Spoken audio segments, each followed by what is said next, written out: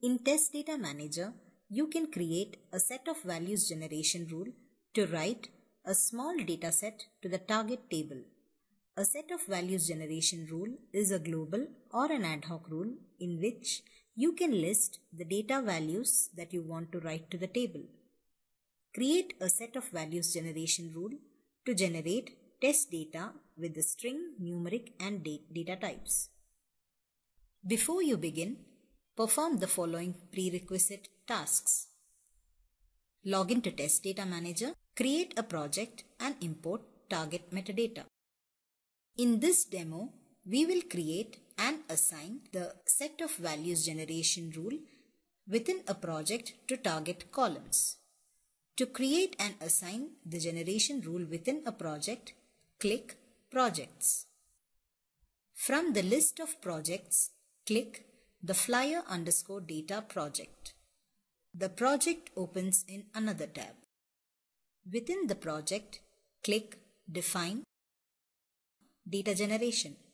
You can see a list of target tables. In the Products table, create and assign the set of values generation rule to the product underscore status column.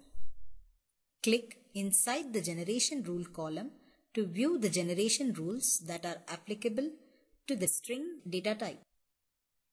To create a new rule, click New Generation Rule. You can choose the generation technique from the drop-down list. Select Set of Values. In the Value field, enter Active. In the Distribution Percentage field, enter 70. To add the next value, click Add. In the Value field, enter Inactive. In the Distribution Percentage field, enter 20. To add the next value, click Add. In the Value field, enter Back Order.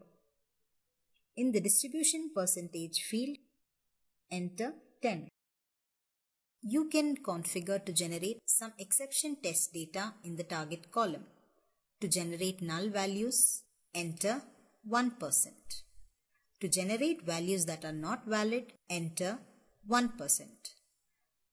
To assign the rule, click OK. That completes this demo. To summarize, we opened a project with the target metadata selected a column on which to create the rule, created the set of values generation rule, configured the rule properties, and assigned the rule to the target column.